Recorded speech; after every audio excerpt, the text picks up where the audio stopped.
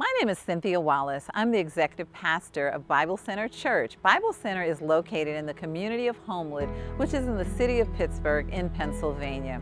We're excited uh, that we were awarded the first faith-based business accelerator grant through the American Heart Association.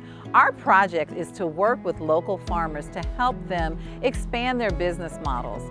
The community of Homewood is similar to, and I guess different from other communities around the country in that there's not a grocery store in this community. People in this community do not have ready access to fresh fruits, produce, other things that would be absolutely good for their health.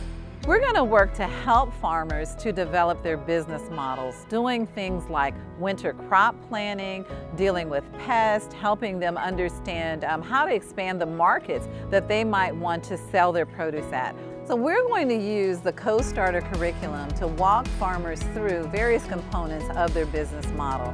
So from customer discovery, interviewing the people that actually purchase produce at their farms, um, marketing, um, pricing structure, developing their, um, their financial structure. And so that will be helpful in helping them um, just design a foundation for their business.